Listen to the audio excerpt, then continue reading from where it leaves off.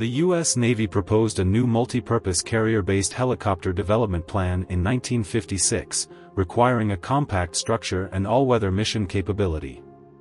Eventually, the K-20 designed by Kaman Aircraft Company was selected and received the official order from the Navy. The K-20 was later known as the SH-2 Sea Sprite.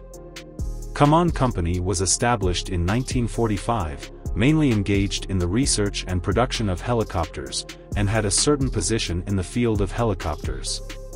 The SH-2 designed by the company was also very unique in technology, with most models used until the 1990s, and some new models still in service today.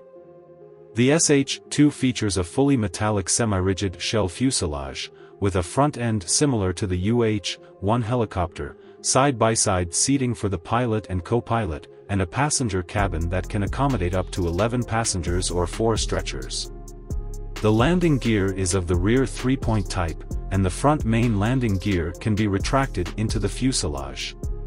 The fuselage has waterproof capabilities and can take off and land on calm water surfaces. The fairing at the front of the aircraft can open left and right and fold back, reducing the space occupied in the hangar, making it suitable for smaller surface ships. The helicopter is powered by a General Electric T-58 turboshaft engine, with a four-bladed main rotor and a small four-bladed tail rotor to adjust flight attitude. The main rotor of the SH-2 is unique, with movable flaps installed on the trailing edge of the rotor blades, controlled by the pilot to reduce the hydraulic power required for rotor control, a design that is quite rare. The SH-2 is relatively small, with a main rotor diameter of about 13.4 meters and a folded length of about 15.85 meters.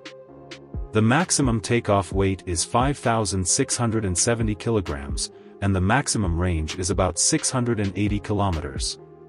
Sliding cabin doors on both sides of the fuselage allow for additional fuel tanks to be carried inside the passenger cabin to increase range.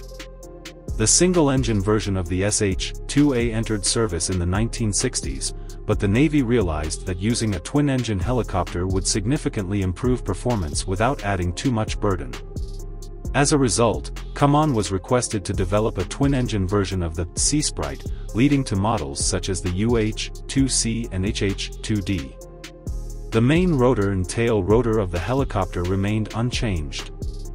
For example, in the case of the Kaman SH-2F, after the power was reinforced, the empty weight increased to about 3,200 kilograms, but the maximum takeoff weight increased to 6,000 kilograms.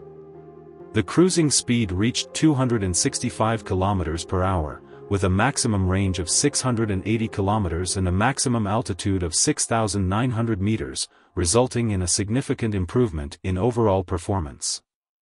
Shortly after entering service, the SH-2 helicopter was deployed to Vietnam as a carrier-based aircraft for aircraft carriers and escort vessels, mainly performing fleet surveillance, general transport, and the important task of rescuing downed pilots. Throughout the Vietnam War, the SH-2 successfully rescued over 100 people.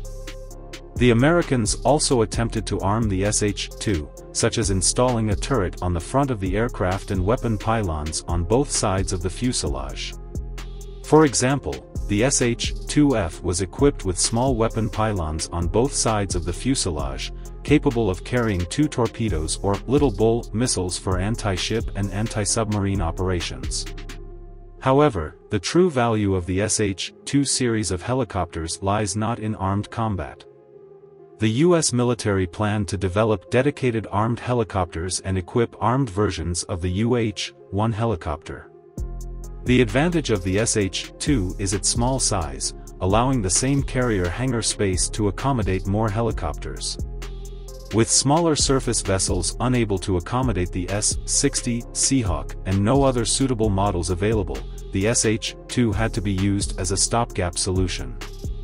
The newer models of this helicopter series include the SH-2G, developed in the mid-1980s. The U.S. military deployed it on smaller Knox-class frigates and early Perry-class frigates.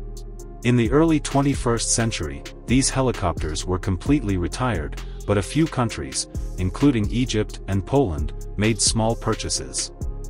Egypt also purchased several second-hand helicopters from the US as spare parts.